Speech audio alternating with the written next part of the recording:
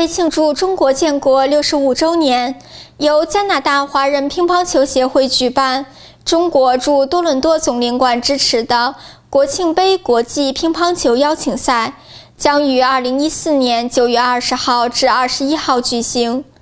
九月十九号，加拿大华人乒乓球协会在万锦嘉华乒协场馆举行记者会。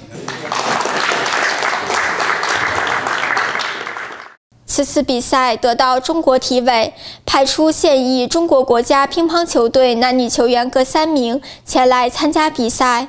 他们是刘吉康、方博、吴昊、文佳、冯亚兰、木子。这次呃第二次到这个加拿大的这个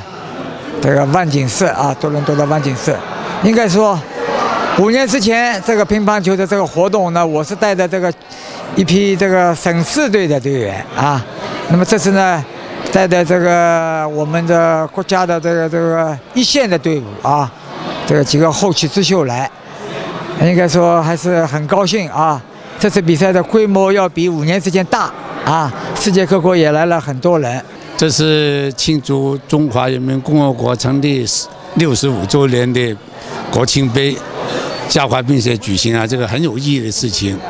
目的呢，一个是希望提高广大市民呐、广大社区的群群众啊，能够多点参加体育运动。体育运动搞好了，身体搞好了，这个是很大的家庭幸福。第二个呢，希望通过这次国庆杯呢，能够大乒乓加拿大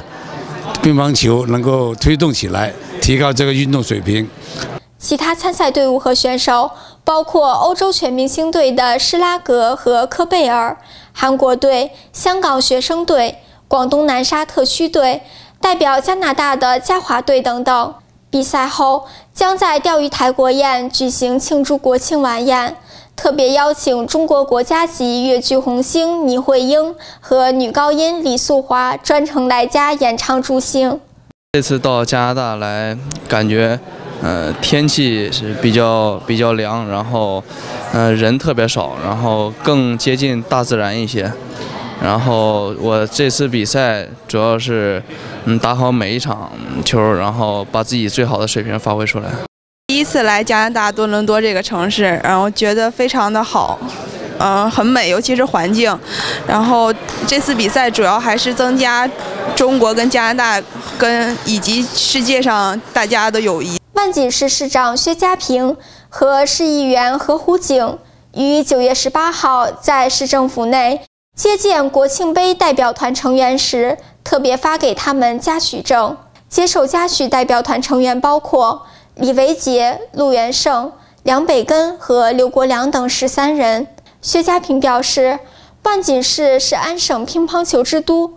而今次中国乒乓球来对万锦时参与中国成立六十五周年国庆杯比赛，实是將乒乓球月推向高潮。啱記者招待會，大家都睇到啦。咁啊，今次呢個盛事真係好難得。我哋不但止有呢個咁高級、咁高水準嘅運動員參加，又嚟自咁多唔同嘅地方。我哋仲有呢喺聯歡晚會請到中國兩個一級嘅藝人嚟表演。所以呢，星期六。我哋係單打，星期日係團體賽。咁啊，團體賽結束後，我哋釣魚台有個連啊國慶慶祝國慶嘅聯歡晚宴，有好好嘅節目。咁我希望呢，我哋多倫多個觀眾呢，千祈唔好錯過啦。乒乓球是中國的國水。是呃，我從小都喜歡打乒乓球的，咁今次呢很榮幸有機會參加這個活動，呃，因为这是很有意義活动，因为我们通过乒乓球，呃，可以跟其他朋友交流，也可以跟其他国家、其他族裔朋友交流，所以呃，我很支持今天活动，呃，我希望通过这个我们这个呃乒乓球呃文化，能够跟其他族裔、跟其他国家分享我们中国的国粹。这是加拿大网络电视记者发自活动现场的报道。